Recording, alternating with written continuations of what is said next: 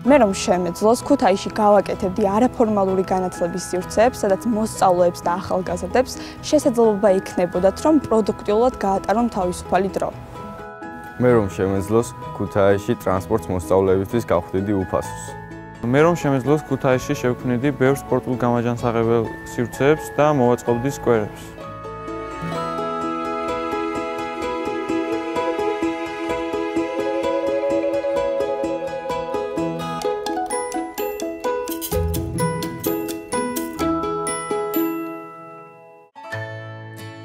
ვფიქრობ, რომ ამ ქალაქში ძალიან ბევრი შენობა თუ სივრცე არის აუთვისებელი და თუნდაც რომელიმე მიტოვებულ შენობა შეიძლება მიეცეს ფუნქცია და გაკეთდეს ახალგაზრდული ცენტრი.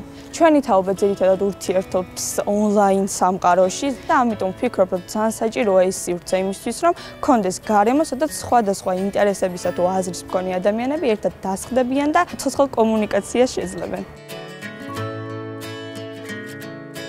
ჩემი საყვარელი სპორტი არის კალათბურთი და პრაქტიკულად ქუთაისში არ გვაქვს სივრცე, რომ მეგობრები შევიკრიბოთ და ვითამაშოთ.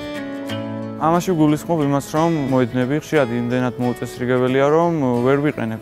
წვიმაში ან ცუდამინში არ არ არის გადახურული მოედნები, რომ შევძლოთ თამაში და ამიდმა ხელი არ შეგვიშალოს.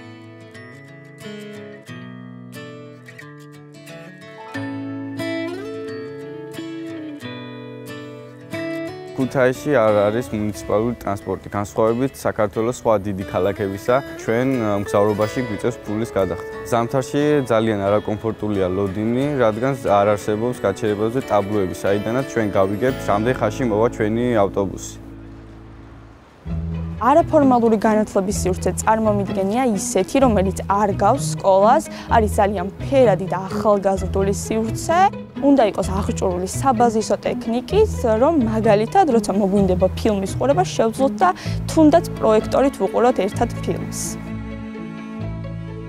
იმისთვის, რომ ახალგაზრდებმა ვიცხოვროთ ჩანსახ გარემოში, ამისთვის საჭიროა ბევრი მწვანე სივრცე, რომელიც იქნება სათანადოდ მოწყობილი.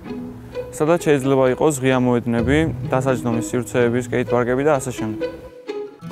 ალტერნატივა იმისა, რომ ველოსიპედები გამოვიყენოთ ტრანსპორტად, შეუძლებელია, რადგანაც ქალაქში არ არის ველობილიკები და შესაბამისი ინფრასტრუქტურა. ჩემი აზრით, ქუთაისის მასშტაბები იძლევა იმის საშუალებას, რომ ველოსიპედი გახდეს ახალგაზრდებისთვის ერთ-ერთი მნიშვნელოვანი ტრანსპორტი.